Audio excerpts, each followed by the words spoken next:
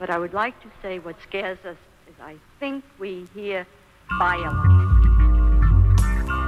May I respond? May I respond, please? And isn't it sad that we who have been the of so much violence now whites fear violence from us? We do not have a history of killing white people. Killing us.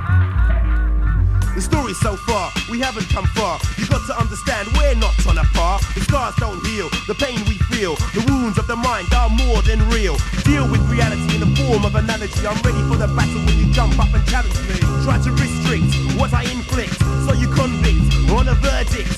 No evidence, just irrelevance. You'll never beat a mind equipped with self-defense.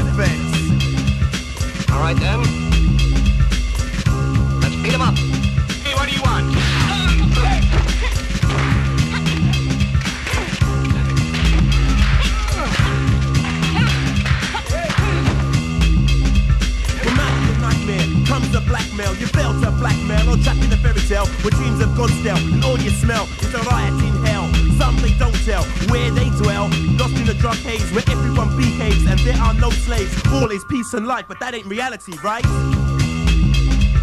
Brothers die daily, while some they just praisey and refuse to see the view from their window in the places they don't go, and TV just won't show. It's a low blow, but you're far too slow, so you best just go and heed my cry.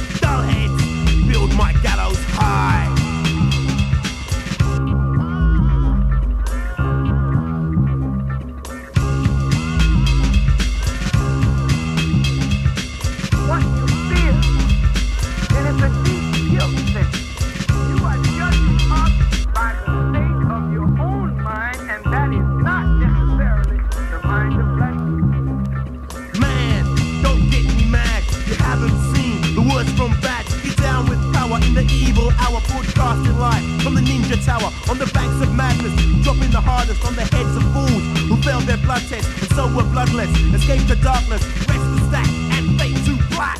And we'll be back in just a moment.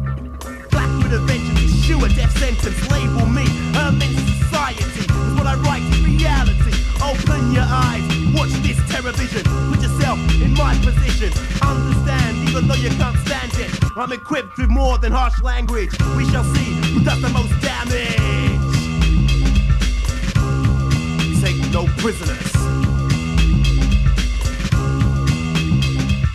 This one's for the total, total ninja posse.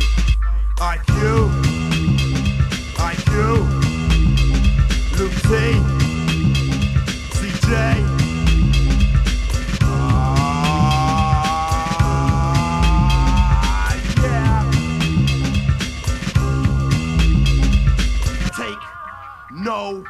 prisoners.